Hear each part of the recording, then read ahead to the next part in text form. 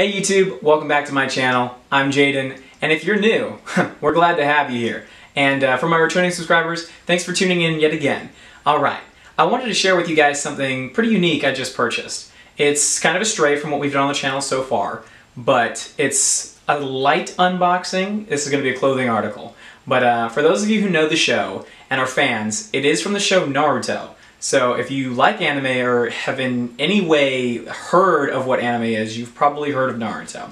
So for today, we've got the Hokage jacket. And before you go thinking it's not even practical to be wearing a Hokage jacket, Hokage trench coat, uh, maybe to Target or even just on the street. Don't worry, it's not a full-on trench coat with three-quarter sleeves. In fact, this one's a little bit different. It's uh, it's more so along the lines of a jacket.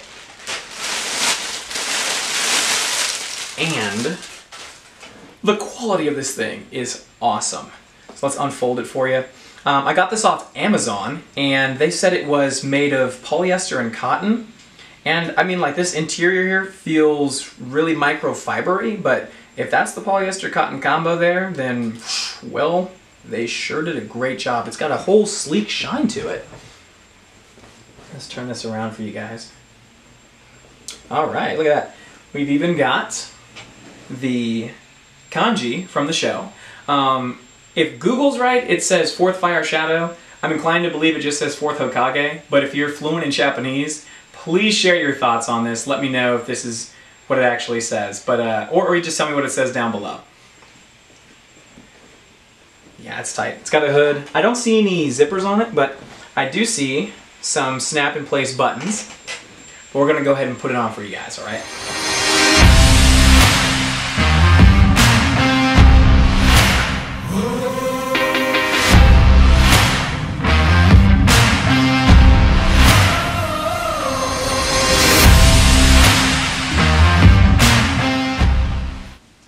Okay, this is pretty dope. The hood is huge, um, which gives me more Assassin's Creed vibes than it does Naruto vibes, but I mean the sleeve length is just perfect for me.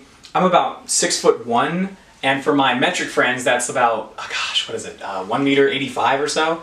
So yeah, I mean I got the size large. So if you guys are looking to pick one of these up and you're around that size range, large will be perfect for you. Gotta get these buttons. Okay, so the buttons don't go all the way down.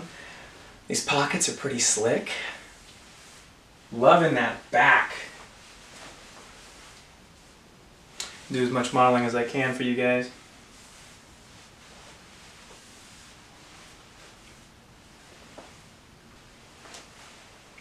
But what I really want to do is take this outside and go for a ride on my bike. So let's go.